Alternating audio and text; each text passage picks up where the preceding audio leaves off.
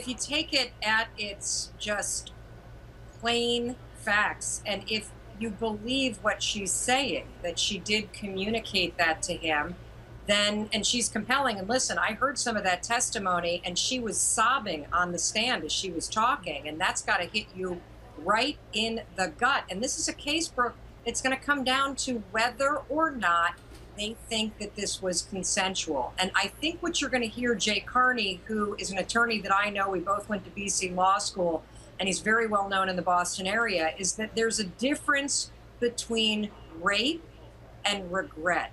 And he's going to argue that this was consensual. She was 15. She may not have, I don't even know what to say. She may not have, have, have expected it to turn out the way that it did, but he's going to argue that it did not constitute rape under the law, Brooke. But she made for a very compelling witness today. Uh, on the flip side, though, again, this is really like I think to Mel's point, you know, that you have the defense saying there was no sex. Obviously, the prosecution saying that there was. The prosecutor said that the two messaged after the incident, and he apparently asked if she was taking a birth control pill. How then do you on the flip side, I mean, if, if he's asking that, it makes you wonder, well, would that be because they, you know, there was penetration, therefore he was concerned about pregnancy. And penetration is a big issue in right. this case. I, I, mean, that. he says, of course, there was no penetration, but why this strange discussion? Uh, why does he say that he put a condom on? And why, you know, why would it come up at all? I think, and getting back to the point also that was raised by Mel, this is a he said, she said situation, but what I'm seeing described is something I've seen many times in courtrooms as a prosecutor. Sometimes when a woman has a gun to her head, she, the, the girl, the 15 year old girl says, I was looking up at the ceiling, not knowing what to do, not knowing how to communicate more my no. She said she had said no to him.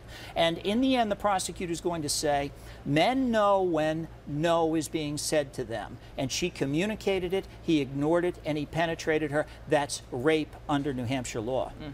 Um, Mel, what about in addition to this conversation about you know condoms and birth control pills? We know prosecutors are spending a lot of time asking about how she you know spoke with him after this happened. Tell me why that's that's important.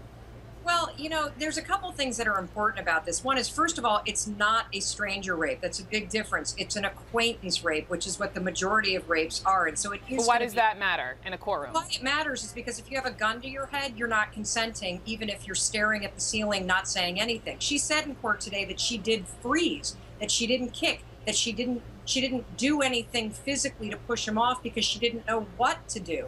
Now, that could weigh heavily in the minds of this jury. Now, let's also keep in mind something I haven't heard anyone talk about. The jury, the 14 members, the 12 and the two alternates, 11 of them are men.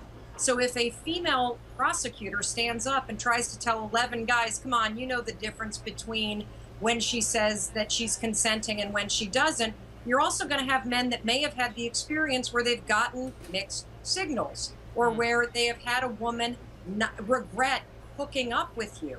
Now, if Jay Carney, the defense attorney, continues to go forward and say there was no sex, there was no sex, and there was no penetration in this case, then you've got the jury looking at physical facts. I think the conversation is very important for both sides, frankly, because if they're communicating back and forth and she goes into this incident by texting him and messaging him and saying, I'll, I'll meet you as long as it's our little secret, and the defense can argue that what happened in the aftermath is that the students found out about it, there was gossip about it, and that's when she then reported it.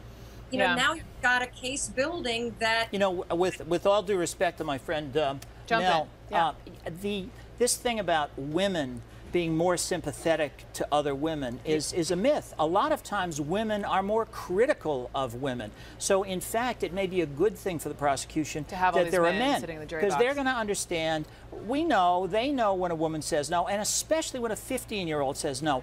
They're going to know that an 18-year-old or a 17-year-old knows that he's picked a very young girl who doesn't have the skills, and they have to be more careful about what they're doing. So I think this could, in, in the end, help the prosecution, the number of men on the jury.